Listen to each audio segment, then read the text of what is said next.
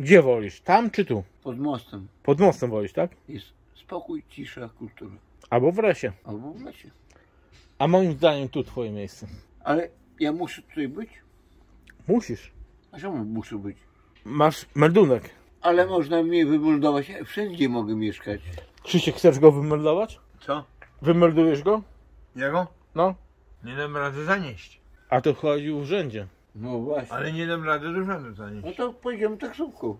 No to po A kto taksówką. zapłaci? Ja. O. O. Nie na pół na pół, tylko ja płacę. To co? Nie, powiedzieliście dwóch. Zgadza się. I o nawet. To kto zapłaci? Jeszcze raz pytam. Dobrze, ja. Powrót będzie ja. Jak będę wymeldowany, to już nie będę mógł przyjeżdżać, ani nic. No nie. Trzeba się pożegnać. Ale kto pazerny? Kto? To ja? Pezerny? A co mi? Nie, ty Krzysztofie, powiedziałeś- czekaj, so, Wojciech. sorry, przepraszam bardzo, Nie, daj mi sorry. powiedzieć. Sorry.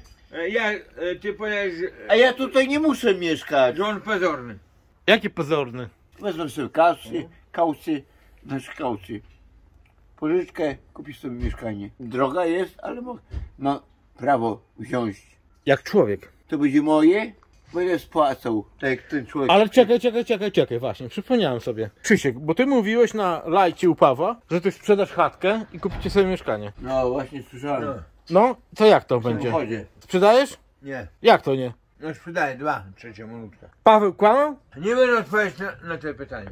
No kurwa, ja nie rozumiem. To co, sprzedajecie chatę? A A co, to nie moja. a co chcesz kupić? Ja? O, Nigdy w życiu. Nigdy w życiu.